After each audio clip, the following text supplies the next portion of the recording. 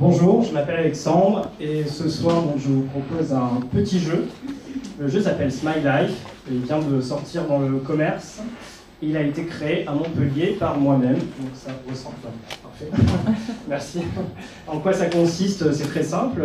Il suffit de faire sa vie à la fois personnelle euh, et professionnelle en essayant d'être le plus heureux possible.